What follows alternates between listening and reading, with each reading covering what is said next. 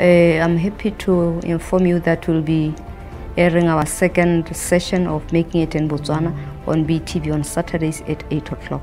The show is about uh, showcasing manufacturing companies.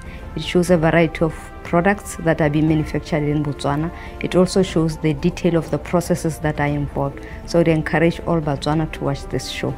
Further, if you want to grow your business as well, or also want to go into manufacturing, you are invited to visit our offices at CEDA, at LEA, and BITC to learn more about the services that we provide for you to start and manufacture your own products as well as to make you ready to export.